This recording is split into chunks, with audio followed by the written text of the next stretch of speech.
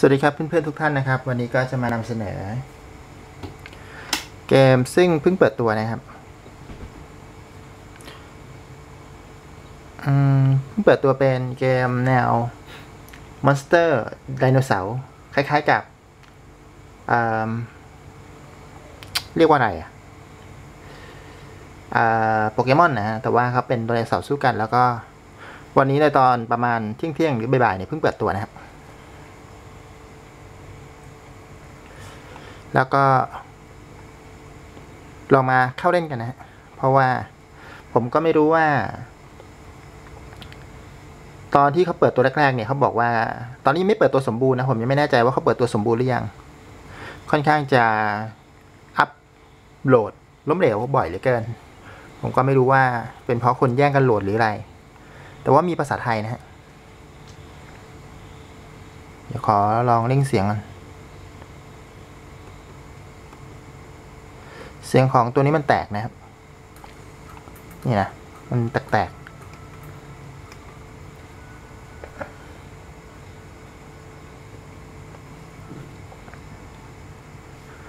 โดยตัวเกมก็ดีนะครับ น่ารักสดใส ชอบตรงภาษาไทย เดี๋ยวมาดูกันว่าเขาจะให้เราอัปเดตอะไรบ้าง ผมอัปเดตไปแล้วนะ อันนี้เข้ามาเล่นแต่ยังไม่ได้ใส่ password และ ID ของ Gmail อันนี้มันกำลังอะเรียบร้อย ข้างบนล็อก password และอีเมลเรียบร้อยแล้ว นี่จะเป็นการเข้าเล่นครั้งแรกนะครับเอ่อโอ้โอนี่ก็จะเป็นพวกข้อมูลและอีเวนต์ต่างๆ ที่มีในตอนนี้นะครับ ก็เป็นภาษาไทยแล้วก็ลองอ่านเอาพื้นฐานเอ่อกิจกรรมเชื่อมต่อ 3 วัน โอ้อะไรวะเนี่ย กิจกรรมผ่านครบทุกบทอะไรอย่างนี้นะครับ ผมก็ไม่รู้ว่ามามันเปิดสมบูรณ์หรือยังนะ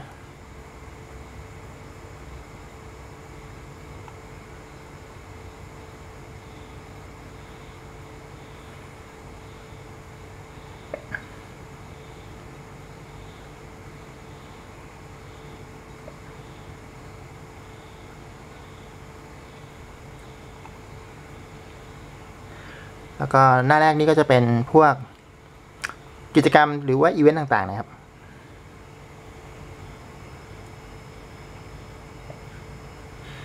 ก็แน่นอนนะครับเกมสไตล์นี้ก็เป็นสไตล์คล้ายๆลุยด่านนะครับ ต้องใช้พลังงานในการลงในที่นี้เขาเป็นน่องไก่หรือเป็นก้อนเนื้อเนี่ยผมไม่แน่ใจ แล้วก็มีแพ็กเกจขายก็คือเติมเงินนะครับ คิดว่าใช้ To e w a l l e t ได้นะฮะ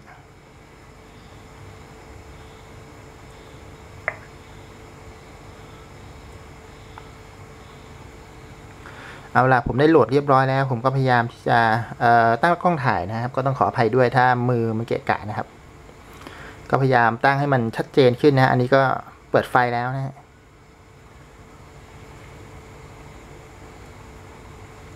โดยเข้าครั้งแรกเนี่ยเขาจะถามว่า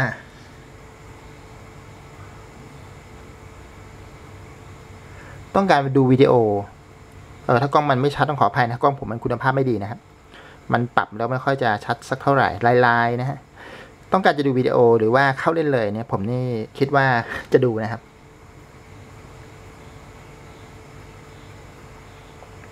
เพราะว่าวิดีโอเนี่ยเป็นการสอนนะครับ แล้วก็บอกธาตุนะฮะมีดินน้ำไฟลมนะครับ แพ้ธาตุกันนะครับ แล้วก็เดี๋ยวจะมีเนื้อเรื่องในตอนต้นนะครับ ในยุค ความจริงในยุคนี้เป็นยุคไดโนเสาร์แต่ว่าเขาก็มีตอนที่ดาวน์โหลดนะครับเขามีเนื้อเรื่องให้เราก่อน ต้องขออภัยในด้านเรื่องเสียงของเกม ซึ่ง มันยังไงอะลำโพงมันแตก ผมขี้เกียจใส่บลูทูธนะ เดี๋ยว โอ้ เนี่ยจะเห็นเสียงแตกๆนะนะครับ โดนมอนสเตอร์ระดับบิ๊กบุกนะครับ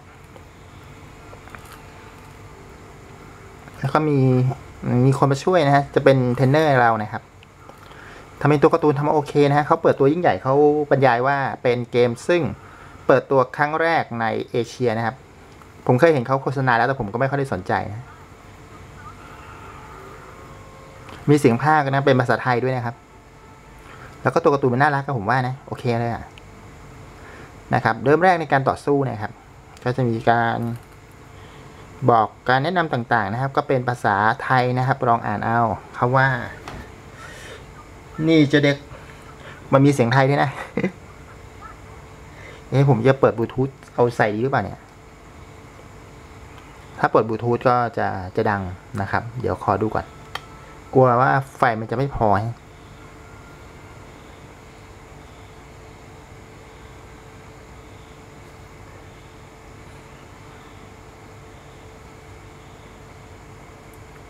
โอ้ไม่ต้องแล้วกันนะ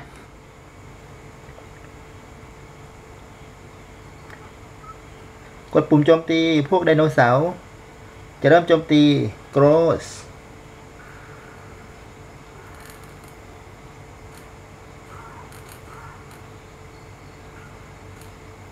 โอ้ภาพมีกระตุกบ้างนะครับสำหรับเครื่องผมคิดว่าเป็นที่เครื่องผมไม่ดีนะ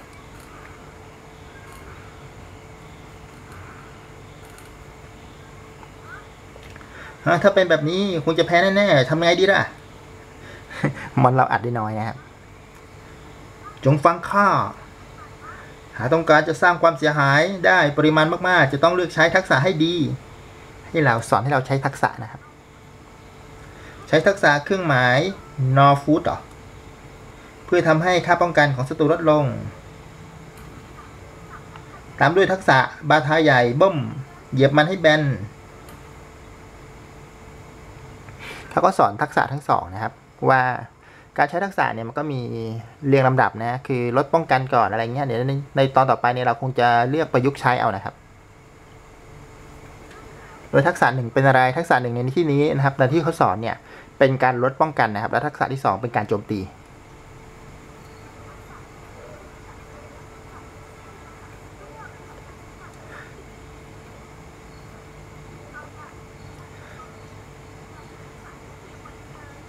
เวลากดปุ่มโจมตีนะครับ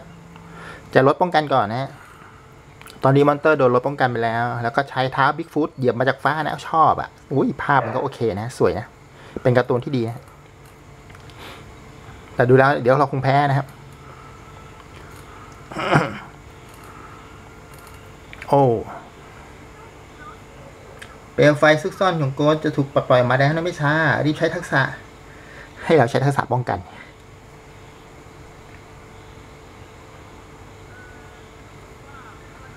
โอ้พลังไม่พอนะครับ พลังความขวดไม่พอ เรียกอะไรอะ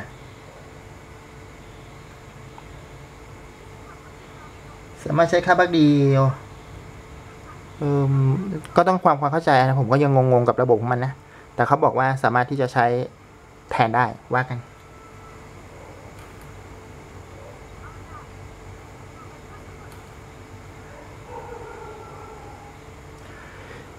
อันนี้ยูเควสในเรื่องนะครับ มันก็เป็นเหมือนกันนะครับ คือเขาให้เราสอนทักษะนะครับ สอนทักษะลดป้องกัน ถอนทักษะโจมตี แล้วสอนทักษะป้องกันนะครับ สอนการใช้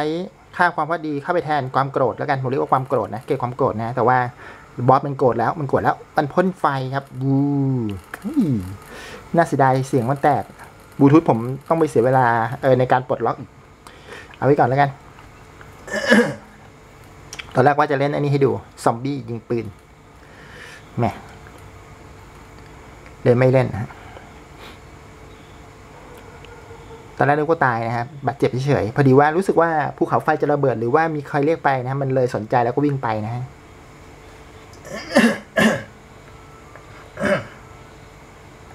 นี่นะภาพเกมนี้ค่อนข้างจะโอเคเลยนะเขาเปิดตัวมาตั้งนานแล้ว ผมเห็นเห็นอยู่เราๆเห็นแล้วนอนเตะซะงั้นตื่นสักทีจะนอนไปถึงไหน ตุบตุบใจร้าย ว้าวเนี่ยเขาชื่ออ๋อยังไม่เปลี่ยนชื่อให้เรา เดี๋ยวเขาจะมีให้ตั้งชื่อนะครับ ผมจำได้เมื่อกี้ผมลองเล่นอีกเครื่องหนึ่งก่อน ตอนนี้เขาให้ชื่อชื่อวูดดี้ส่วนคนที่มาเป็นเขาเรียกว่าเป็นอะไรอะเป็นคนแนะนำให้เราก็ชื่อว่าผู้พิทักษ์เมอร์ลินนะฮะเมอร์ลิน นามของข้าคือเมอร์ลิน เมอร์ลินผู้พิทักษ์พูด ตอนนี้กำลังสืบเรื่องเหตุการณ์ประหลาดที่เกิดในพื้นที่ต่างๆ ของทวีปนิสอยู่ ที่ที่พวกเราอยู่ตอนนี้คือที่ใกล้หมู่บ้าน แซมเกียลองดูฉากรอบๆสิ จากรากนิ้วหน้าจอเมนู เออเดี๋ยวขอขยับซะหน่อยสิ บิดบิดๆเบี้ยวๆเอ๊ ให้รากนิ้วนะฮะ ก็มีพื้นที่เพิ่มเข้ามาอีก ขอคำแนะนำตัวบ้างนะ นามว่าข้าคือวูดดี้ แล้วเจ้าไดโนเสาร์ประหลาดนั่นเป็นยังไงบ้าง เจ้าหมายถึงโกรสนะเหรอแค่เสียงแตรดังขึ้น มันจึงตามเสียงนั้นไป แต่มันเจ้าถึงโกรสได้ล่ะล่ะ อ๋อ มีคนเป่าแต่หรือว่าเสียงแต่ที่ไหนไหมนะที่เป็นไปไม่ใช่ภูเขาไฟระเบิดนะครับ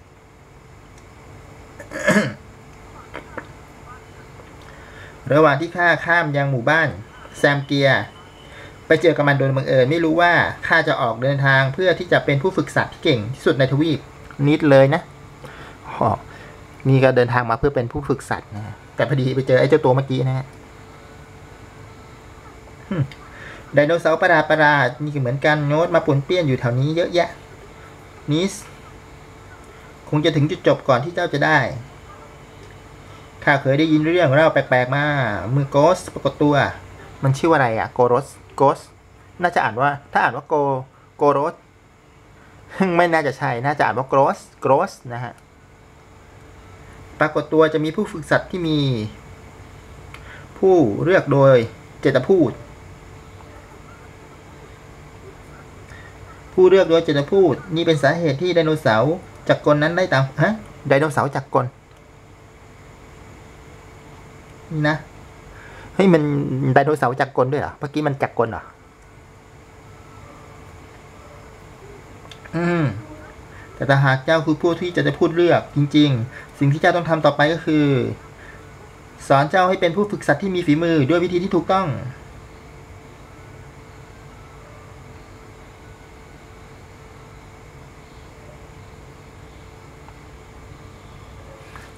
เกมนี้คล้ายๆเกมแนวลุยด่านนะครับ ก็จะเห็นว่าด้านบนก็จะเป็นเอ่อผ้าพลังในการลงเป็นเนื้อนะครับ แล้วก็จะมีเอ่อพวกเหรียญทอง พวกคริสตัลเอาไว้นะครับ เดี๋ยวคงจะมีให้เปิดตัว ตอนนี้ให้เราเข้าไปในด่านเดี๋ยวก่อน เอ่อเมื่อกี้ไม่บอกโกรสเอ่อไดโนเสาร์จักรกลในตอนที่ดาวน์โหลดเนี่ยมันมีคล้าย ๆ กับว่าเป็นโยกโลกยุคยุคเราเนี่ยนะฮะแล้วก็โดนอ,อุกกาบาตทำลายนะครับเพราะฉะนั้น อาจจะมี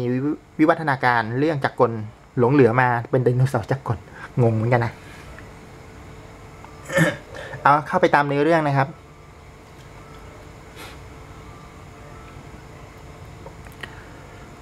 โดยภาพเนี่ยถ้าเครื่องใครไม่แรงเนี่ยหรือว่าเอฟเฟกต์ยังไม่เข้านี่ก็อาจจะเออมีช้าๆก็ตกกระตุกนะครับ เหมือนเครื่องที่ผมเล่นเมื่อกี้เครื่องหนึ่งอะไรมันก็ดีนะ ยกเว้นเรื่องเอฟเฟกต์นะเสียงมันไม่แตกนะฮะพื้นที่เยอะ โอ้ไดโนเสาร์ที่นี่ข้ายืมท่านมาสู้ กับโกดล่ะ ไปไหนแล้ว พวกมันอยู่ในฟาร์มตอนนี้มันรักษาอาการตัวอยู่โกสบาดเจ็บ เพื่อฝึกเป็นอย่างเจ้าได้รู้สึกว่าข้อความมันจะไม่พอนะมันล้นขอบไปด้านล่างนะมันหายไปหน่อยบรรทัดหนึ่ง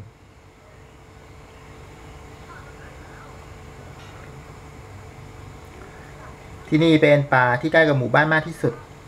มีนามว่าไทนัสทิศใต้ จะเริ่มทำการตรวจสอบจากสถานที่ใกล้ๆหมู่บ้านก่อนละกัน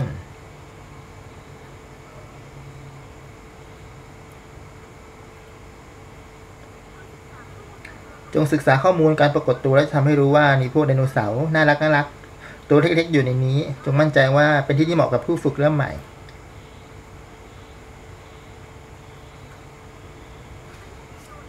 เลือกไดโนเสาร์เพื่อให้เข้าร่วมการต่อสู้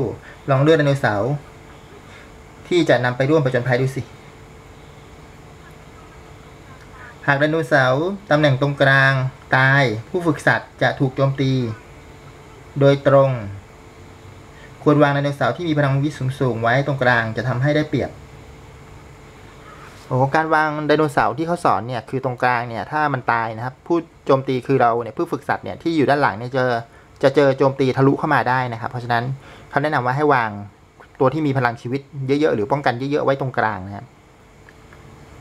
หากพลังชีวิตของผู้ฝึกสัตว์เป็นศูนย์จะทำให้พ่ายแพ้ในการต่อสู้มิฉะนั้น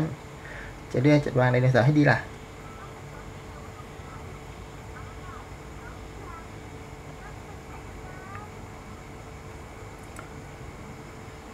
โโอ้โห มันใช้น่องไก่เออน่องเนื้อถึงเจ็ดชิ้นในการลงเลยเหรอ ใช้เยอะไปเปล่า เฮ้ย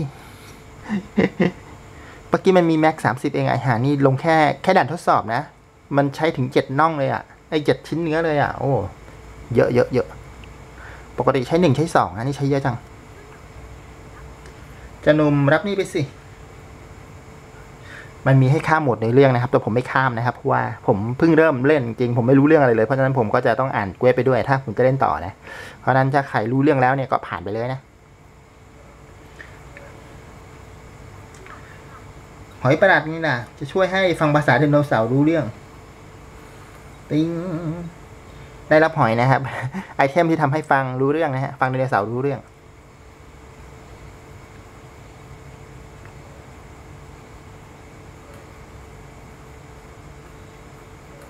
เฮ้ยตัวไดโนเสาร์มันน่ารักนะ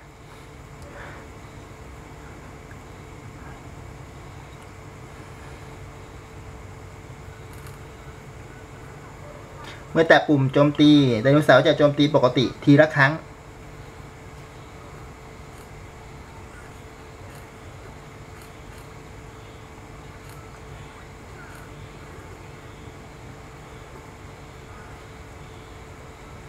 จะโจมตีสลับกันไปนะ มันไม่ใช่ว่าโจมตีแบบฝั่งเราโจมตีหมดแล้วเขาโจมตีไม่ใช่นะ คล้ายๆกับสลับกันไปสลับกันไป เวลาเป็นสิ่งสำคัญข้ามเวลาการต่อสู้ให้เร็วกว่าเดิมจะได้ประหยัดเวลาในการเล่น แต่ที่ตรงนี้เพื่อปรับความเร็วเป็นสองเท่า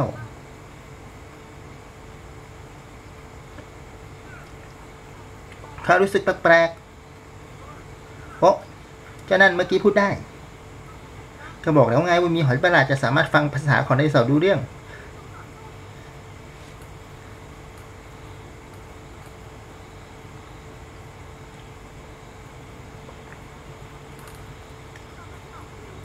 ต่อไปจะบอกให้รู้เกี่ยวกับทักษะฝึกผู้ฝึกสัตว์ลองใช้ทักษะที่เป้า ลองเรียกใช้ทักษะใส่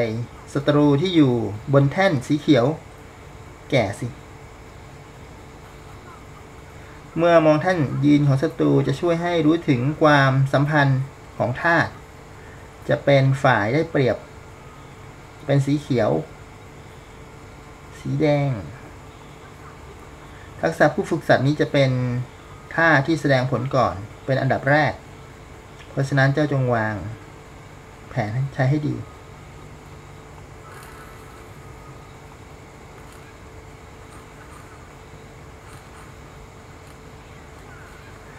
ประมาณว่า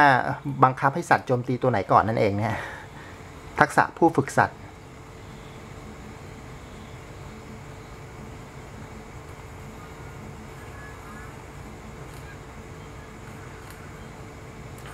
เอ๊ะจอขอบล่างของผมเนี่ยมันมันล้นไปหน่อยนะขออภัยนะด้านล่างเนี่ยเนี่ยจอเนี้ยนะปกติมันต้องเลยไปนิดนึงให้เห็นเต็มเต็มๆนี่มันรู้สึกมันจะขึ้นมา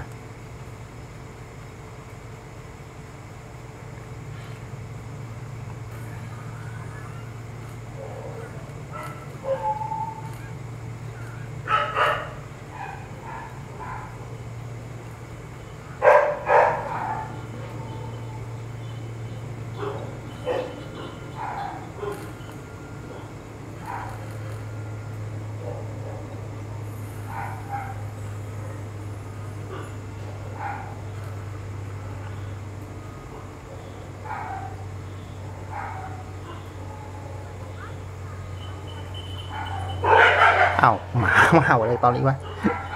จะบ้าตาย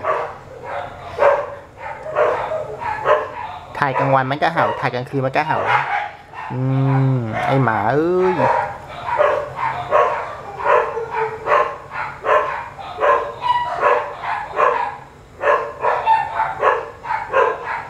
เอาละถึงขั้นตอนการตั้งชื่อนะครับ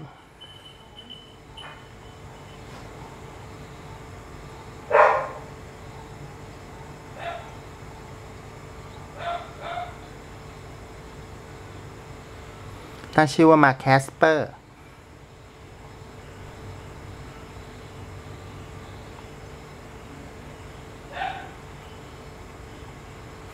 ติ้ง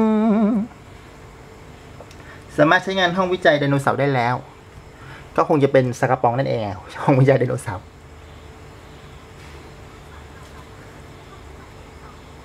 ไปพบสอโรซินที่ห้องวิจัยไดโนเสาร์สิ จะได้ข้อมูลที่เป็นประโยชน์ เขาเดาก็คงจะเป็นพวกสากปองพวกสุ่มสัตว์อะไรพวกนี้นะครับ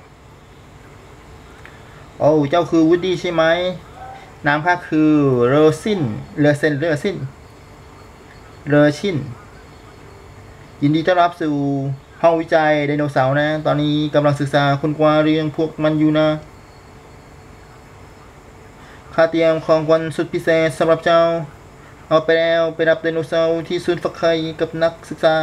ของข้าเราเจอกันไหมนะโถให้เข้ามาแค่เนี้ยนะ แล้วก็บอกว่ามีของขวัญให้เจ้าแล้วก็ให้ออกไปอืม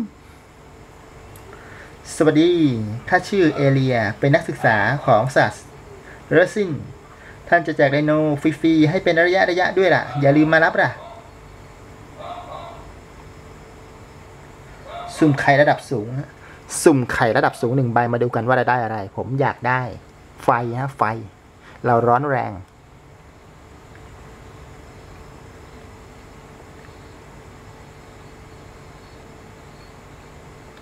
โอ้มารึกกึกยฮิมารึกกึกกยเพียง สุ่มไข่ระดับสูงหนึ่งใบ ให้แตะด้วยอ่าหรือว่ามันได้ตัวนี้อยู่แล้ว ผมไม่รู้ผมเพิ่งเคยเล่นครั้งแรกผมเลยไม่รู้ว่า มันจะเป็นอย่างนี้หรือเปล่า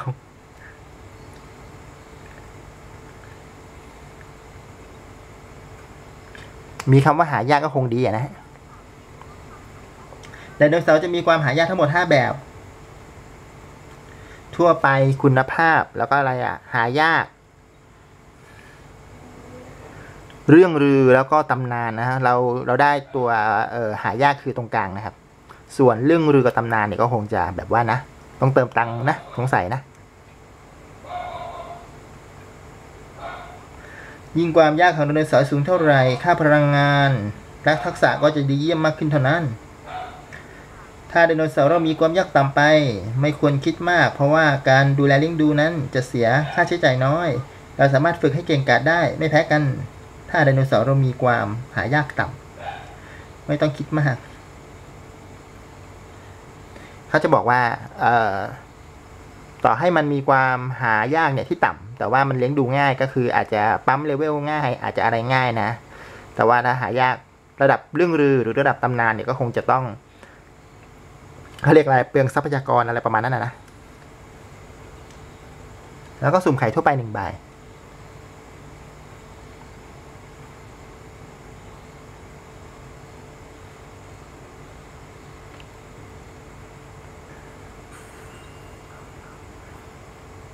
ม่ไข่ทั่วไปยังได้หายาก หรือมันได้ปกติไม่รู้แฮะ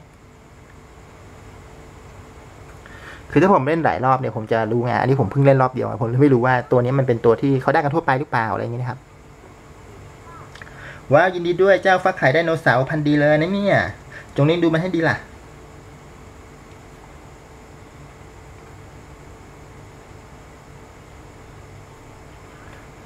อ้าว กลับมาหา สอเลอซินสอเลอซินเลอซินเป็นยังไงไดโนเสาร์ที่ฟักมาได้ ถูกใจใช่หรือไม่ จะเป็นคนที่มีความรับผิดชอบสูง เกิดเป็นเจ้าอย่างนี้เลยนะ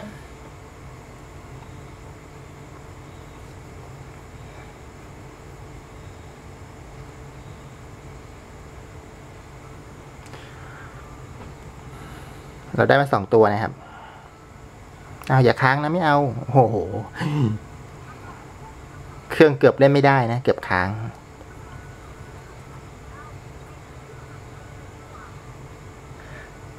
ศาสตราจารย์ให้เราเอาไดโนเสาร์พันดีกับเจ้าเป็นกองขวัญ ไปลุยต่อนะครับ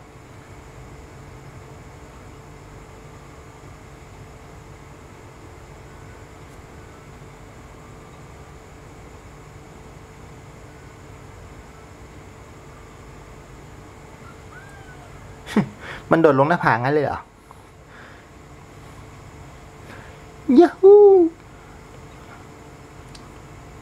อืมเสียดายกล้องไม่ค่อยชัดเท่าไหร่ฮะดูเบลอเบลอต้องขออภัยนะ ขออภัย ขออภัยอย่างเดียวอะอ่าดูเป็นด่านสองนะครับ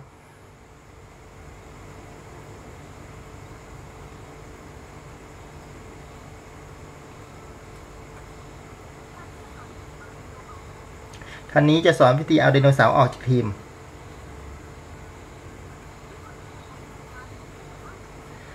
ต่อไปคือการจัดอัตโนมัติจะช่วยให้จัดตำแหน่งทีมไดโนเสาร์ได้โดยง่ายขึ้น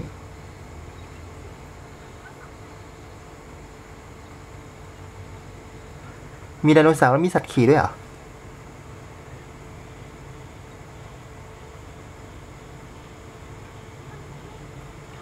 สามารถยืมไดโนเสาร์ของเพื่อนก็ เป็นหลักเกณฑ์ทั่วไปของเกมแนวฮีโร่ลุยด่านนะ ผมเรียกว่าแนวลุยด่านก็คือ เราจะสามารถเลือกเพื่อนได้หนึ่งคนนะครับเหมือนเกมที่แล้วคือไฟดานอนน่ะก็เลือกเพื่อนได้หนึ่งคนเอาการ์ดของเพื่อนมาใช้ อันนี้ก็คงจะเลือก monster หลักของเขามาใช้ได้หนึ่งตัว ในการต่อสู้นะครับ ช่วยสู้นั่นเอง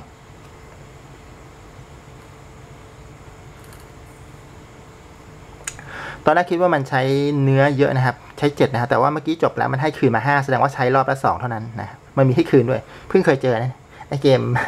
ใช้เนื้อเจ็ดในการลง แต่ว่าพอชนะแล้วคืนมาห้ามันคือแบบสุ่มหรือยังไง เดี๋ยวดูก่อน ดูหลายๆรอบก่อนนะเพิ่งเคยเล่นจริงเลย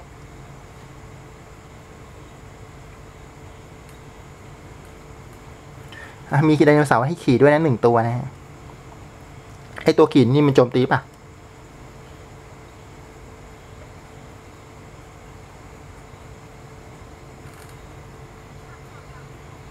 หากแปะไดโนเสาร์ที่อยู่ด้านล่างนี้จะเป็นการเปลี่ยนตัว ตัวที่ท่านแนะนำเมื่อกี้เก่งมาก ตัวที่ข้าแนะนำนี้เก่งมาก จงช่วยผ่านผจญภัยง่ายขึ้น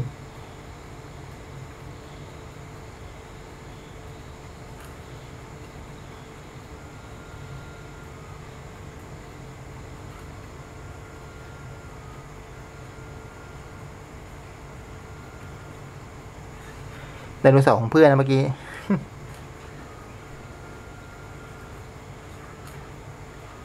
เฮ้ยมันมีสองธาตุด้วยไอตัวที่เอามาเปลี่ยนเมื่อกี้มีธาตุไฟกับธาตุน้ำอยู่ในตัว มันเป็นไฟกับน้ำอะไอตัวกลางเห็นไหมสัญลักษณ์นะฮะ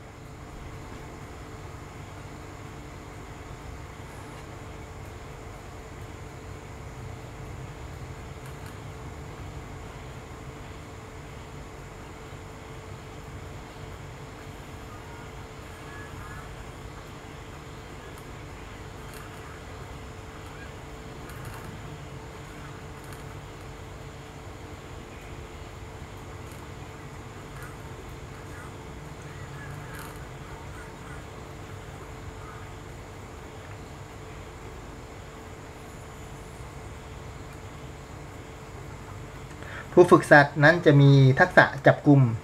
พวกไดโนเสาร์ป่าเพื่อนำมาทำให้เชื่องได้เนี่ยวิธีใช้ทักษะจับกลุ่มนั้นง่ายมาก เมื่อพลังงานผู้ฝึกสัตว์ถึง 50 สามารถใช้ทักษะได้นะให้เกรดไอเทมมา ปกติมันเป็นความสามารถที่มันให้มาตามในเรื่องอยู่แล้วนะครับ คิดว่านะ เพราะว่าเมื่อพลังงานของเราถึง 50 เราสามารถใช้ทักษะจับกลุ่มสัตว์ได้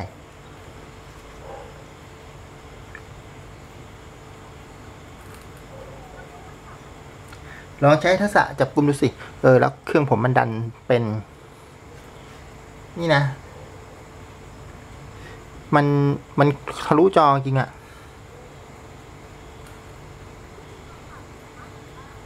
หาไดโนเสาร์ป่าที่สามารถจับได้จะแสดงให้เห็นแบบนี้ลองจับดู อ๋อ ตัวที่จับได้จะมีขอบสีเขียวๆนะครับ ไอ้ตัวหลังจับไม่ได้นะ ยิ่งพลังชีวิตของเป้าหมายน้อยโอกาสจับสำเร็จก็ยิ่งสูงสำหรับตัวจ่าฝูงจะไม่สามารถจับได้จับเอาไว้ด้วย ยิ่งเลือดน้อยก็ยิ่งจับได้ง่ายๆนะครับแล้วก็ตัวจ่าฝูงก็คือตัวข้างหลังนะไม่สามารถจับได้นะครับ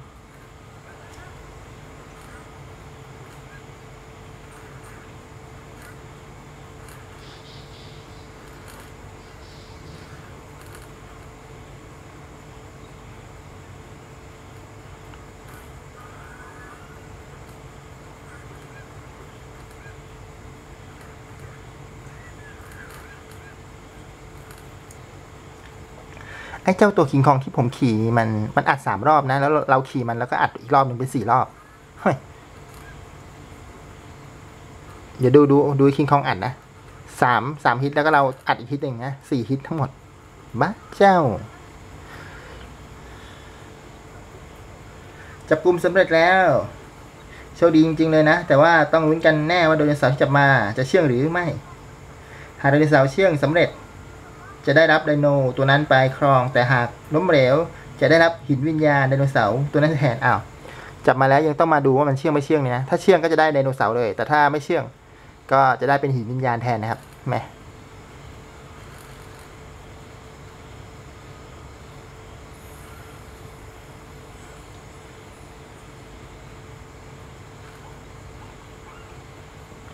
เชื่องเชื่อง ทำให้เชื่องสำเร็จนะฮะได้เป็นตัวไดโนเสาร์นะครับ ถ้าไม่สำเร็จจะได้เป็นหินวิญญาณนะครับ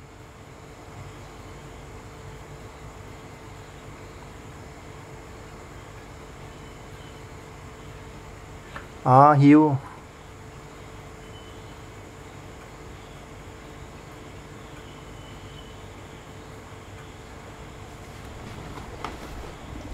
เออเดี๋ยวดูสิครึ่งชั่วโมงแล้วเนี่ยอิ่ม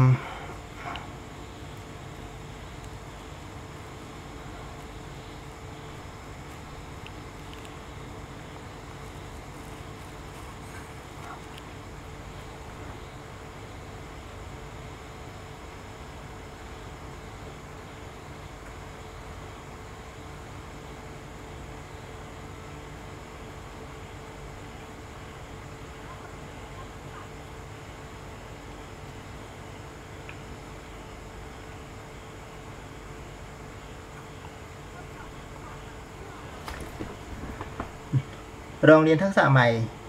ให้นอรอนดูสิ ทักษะใหม่ก็ในที่นี้เขาเรียกว่าทักษะนะฮะก็คือสามารถที่จะอัปเกรดทักษะได้ด้วย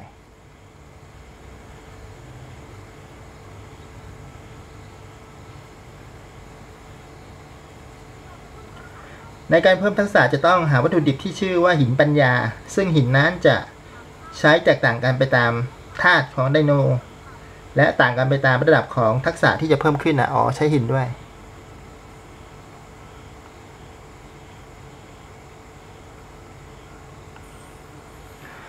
ต้องเวลาหินมาอัพทักษะแล้วก็ยิงขั้นสูงยิ่งใช้เยอะนะครับ ใช้ทักษะใหม่แล้วสินะ ได้ทักษะใหม่แล้วสินะ ต่อไปก็จะไปเพิ่มเร็วกัน นี่ก็เป็นการเพิ่มเลเวลทักษะนะครับ เลเวลทักษะสามารถเพิ่มได้ไม่เกินเลเวลของไดโนยกตัวอย่างเช่น หากไดโนเสาร์เลเวลเป็น 2 ทักษะก็เพิ่มได้ 2 เท่านั้น หากแตะปุ่มอัปเกรดเลเวลจะเพิ่มขึ้น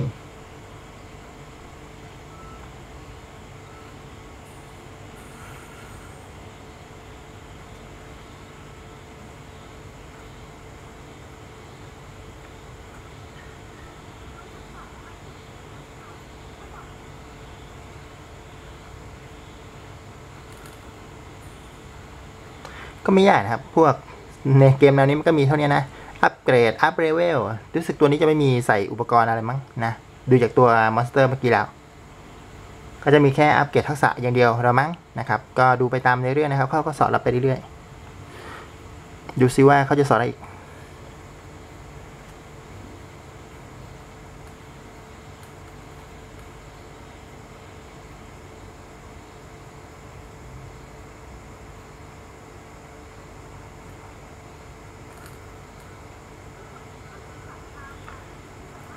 เมื่อแตะค้างไว้ที่รูปทักษะเมื่อแตะที่รูปทักษะค้างไว้สามารถที่จะอ่านข้อมูลทักษะได้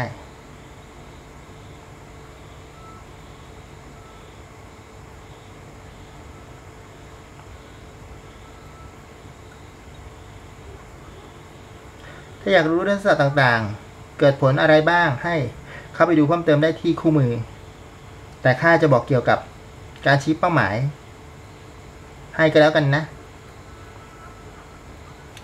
เลือกศัตรูที่ต้องการใช้ทักษะชี้เป้าหมาย เพื่อให้ไดโนของเราทุกตัวโจมตีเป้าหมายนั้นศัตรูที่โจมตีเป้าหมายจะทำการโจมตีและทำให้พลังป้องกันลดลงเป็นทักษะที่มีประโยชน์มากศัตรูที่ถูกชี้เป้าหมาย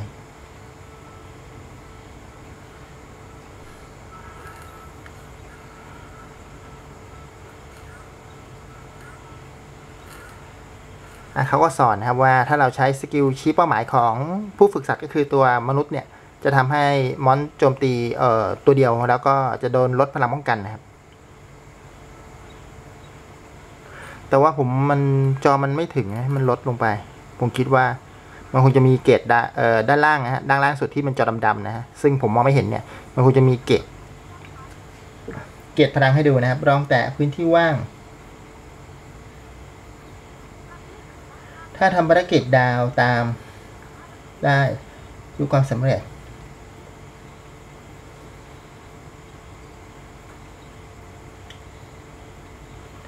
ดานมันก็มีภารกิจนะครับ คือถ้าได้ถึงเวลาเราไม่ตายเราไม่บาดเจ็บอะไรพวกนี้ก็ดูเตาแล้วกัน เพราะว่าเป็นภาษาไทยทำให้ครบก็จะได้ดาวครบก็จะได้เพชรได้อะไรพวกนี้นะครับ ได้ดีกว่านะฮะ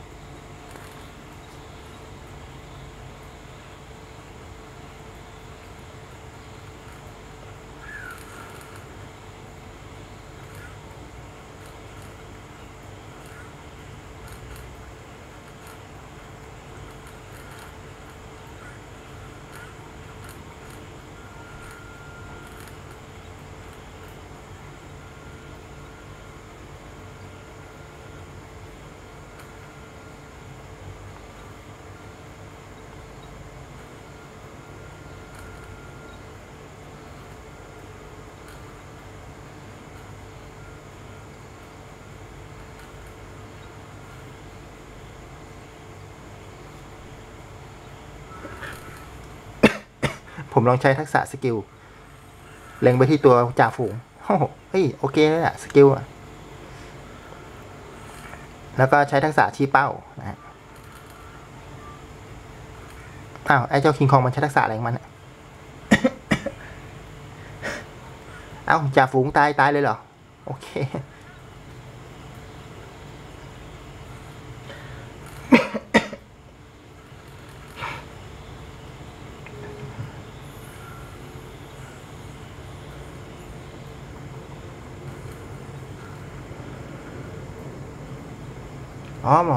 ไม่ใช่ว่าผ่านด่านแล้ว อ๋อ ผมเลเวลอัพเลยได้ห้าเนื้อคืน อ๋อ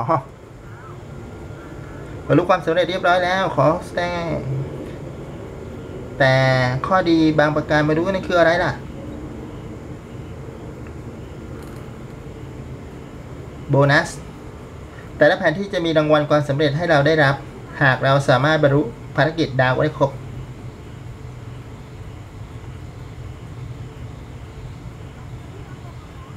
รางวัลความสำเร็จในแผนที่นี้คือโมโกโรสเป็นไดโนเสาร์ที่ผู้ฝึกสัตว์เก่งๆทุกคนต้องมี ที่โมโกโรสเรามีแล้วไม่ใช่หรอโมโกโรสยอดเยี่ยมไปเลยข้าต้องการเป็นเจ้าของของมันให้ได้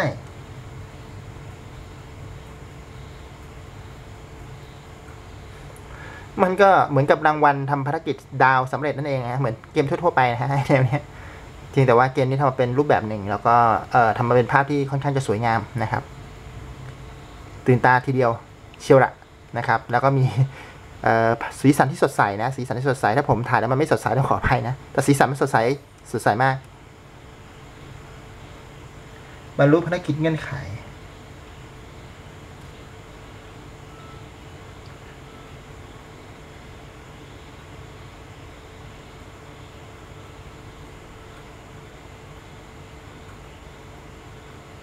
เรียบร้อยแล้วไม่มี quest สอนหรอก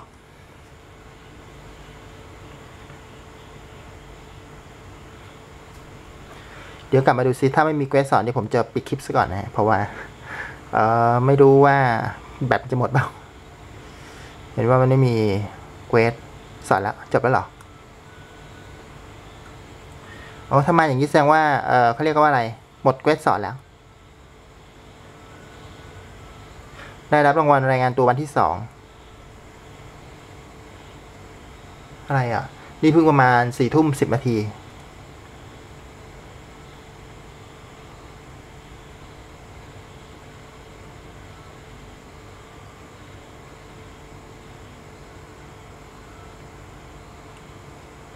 มีเควสรายวันที่ด้านล่างด้วยนะครับ มีส่วนฟักไข่ รู้สึกจะมีไข่ฟรีให้เปิดเดี๋ยวไปเปิดไข่ฟรีก่อน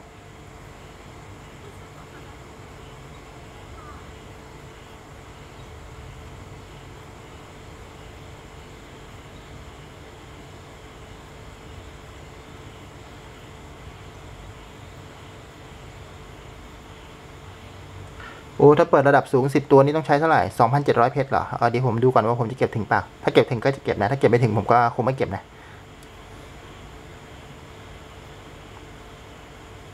เปิดฟรี เปิดฟรี อันนี้น่าจะฟรีให้เราห้าใบนะครับ ประมาณนั้นนะ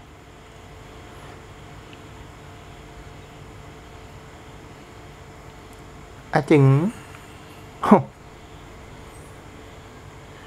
ขั้นระดับสองนะคุณภาพ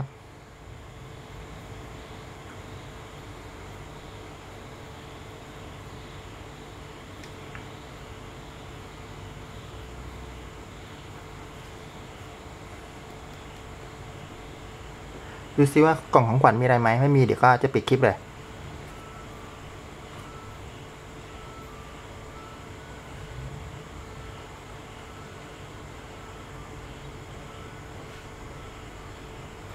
จดหมายมีของขวัญอยู่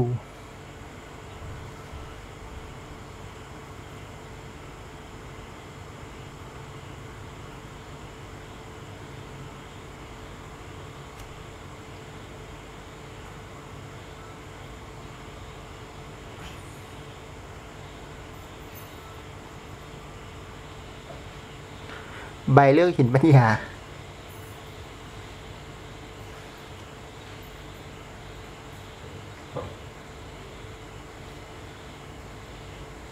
ผมก็ลืมดูเมื่อกี้ผมได้ตัวทัดไฟใช่ปะ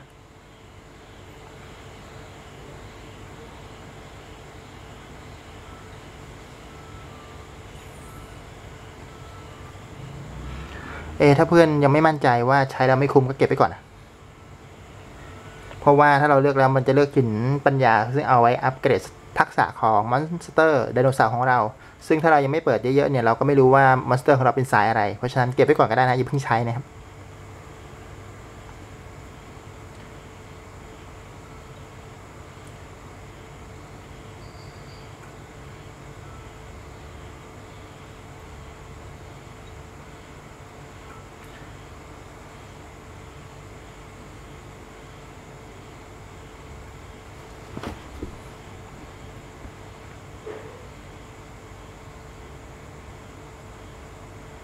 กิจกรรมเข้าเกม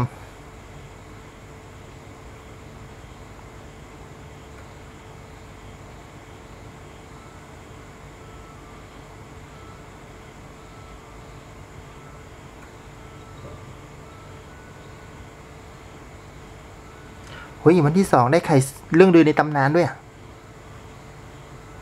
สุ่มเรื่องลือกับตำนานเนี่ย ผมคงจะดวงไม่ดีได้เรื่องได้ตำนานนะ ได้เรื่องลือนี่ก็โอเคแล้ว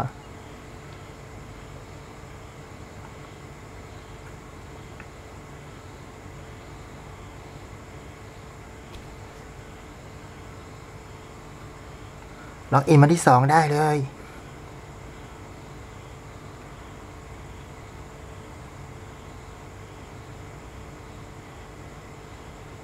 เฮ้ย ไอ้บันแรกมันสามารถเลือกเลยนะ เลือกเลยนะว่าได้เรื่องรือหนึ่งตัวนะครับ ไอ้ใบอันแรกเนี่ย อันแรกเนี่ย จิ้มจิ้มที่ไอเทมมันจะบอก อันนี้สุ่มไข่ อันนี้เลือกได้เลยแต่ว่าเลือกได้แค่เรื่องลือ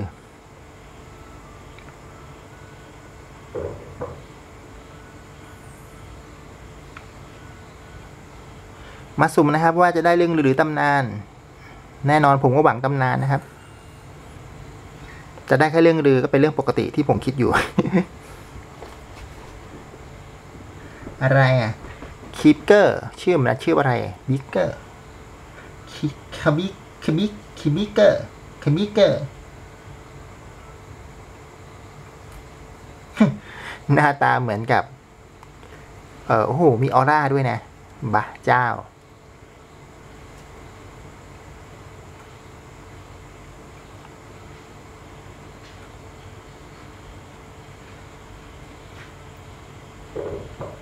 กิจกรรมช่วงนี้มานะครับลอกอินต่อเนื่องนะครับ แล้วก็ลองมาเล่นกิจกรรม